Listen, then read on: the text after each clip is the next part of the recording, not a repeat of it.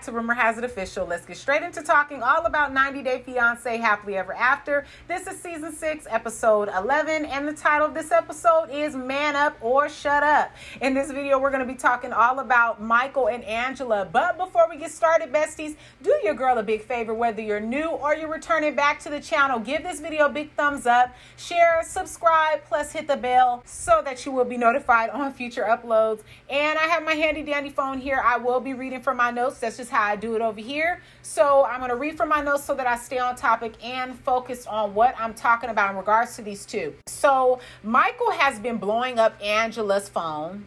No. So Michael has been blowing up Skyla's phone trying to get a hold of Angela. He's trying to get through and Angela lights a cigarette and blames that on Michael. So how they start this episode is Angela made sure to show herself cleaning, sweeping her house. I just really thought that was hilarious because even Skyla seemed surprised that her mom was cleaning the house.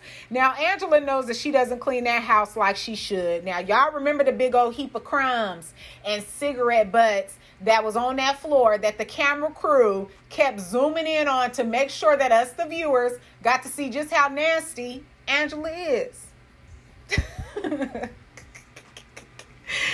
oh my gosh. So Angela encourages her mom to call Michael, and she's like, I'm not y'all's counselor. I'm not going to be in the middle. I'm not here to help y'all fix it, basically. So you need to call your husband so he can stop calling me. Like I said, she's encouraging her mom to call Michael, but she says that she is not calling him, but turns right around and calls him.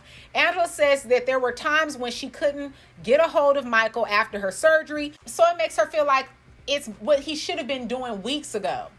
So if you can do it now, she feels like when she was having that surgery and needed him the most, needed him to be her support, he could have been doing that then and he did not. Angela, while smoking, tells Skyla that she went to see her lawyer and was advised by Lou not to go through with filing for a divorce. Skyla quickly says why. Because you know, Skyla definitely is not team Angela and Michael. She does not want to see her mom married to him. And well, we're Team Michael. We don't want to see Michael married to Angela. So Angela says that Lou believes that her and Michael really deserve a chance as a couple. Now, since when does Angela listen to any man? She actually didn't go through with it because Lou told her that they deserve a chance, and Angela never listens to a man. She does what she wants to do. She's in control. So how is how is that working? I think that Angela's full of it. And if she was easily talked out of that, that's because she never intended to go through with filing a divorce in the first place. Okay. I just feel like either she just needed some screen time or a place to film for the day. So she says that she doesn't need a man and she never has. But then turns right back around and decides to FaceTime Michael because she's not done verbally abusing him. Michael says that Angela has blocked him on everything, so that's why he's reaching out to Skyla. He's she's blocked him on what's WhatsApp, he said, on Facebook and all these other social media platforms. She has blocked him. Angela is doing her normal trash talking, and Michael this time around is using his voice to speak up. He's not backing down or holding back like he normally does. He's laughing at her, clapping and clapping, and just like it's like, wow, Michael, where you been at all this time? You should have been standing up like this. And really chuck the deuces. Angela pulls the I'm an American. I'm in the land of the free. Disgusting. Okay, disgusting that she keeps using that and disgusting just it didn't make me feel good when she said that. Like, I'm an American and I'm in the land of the free. I didn't like it. I didn't like it one bit. So Michael says, Let me tell you something. And Angela says that she's been letting Michael get away with what he wants to do for too long. And I was confused because Michael has never been able to do what he wants. Michael has never been able to dictate control, make a suggestion. Everything has been on Angela's terms. She's been in control. So, what does she mean she's been letting him get away for too long? What has he been doing? His life has been controlled by her. Now, I feel like, on the other hand, I do realize that a lot of this is on Michael because he has allowed all of this for so long.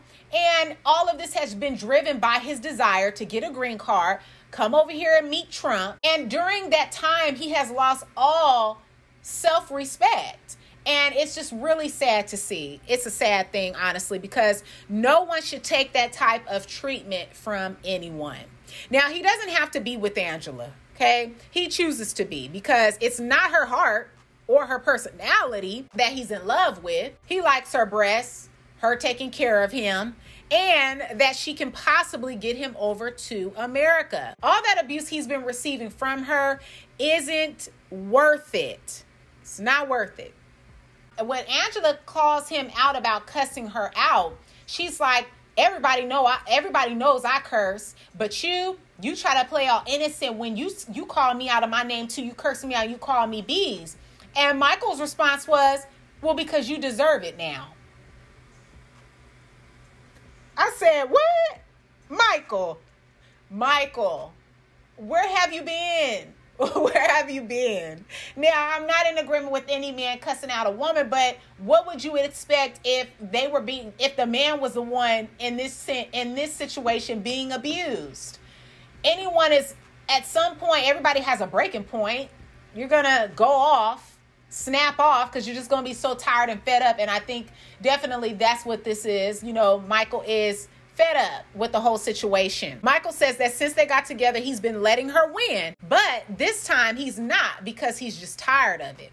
I was no more good when Angela said to him, Maybe I'll just find a man to take care of me so that I don't have to take care of him. And Michael started clapping and telling her, Clap for yourself. and when she also was like, um, yeah, because of you, I'm smoking and all this stuff. And he was like, hmm, really? You know? I thought it was so hilarious. Him like he was clapping and stuff like clap for yourself. You find you a man down there that'll take care of you. Angela hangs up the video call on Michael, and the production says to Angela, What should have Michael have done? And Angela says, Michael should have said, Baby, I miss you, da da da da da da da da da da. he should have said, Baby, I miss you, da da da da da da da da da.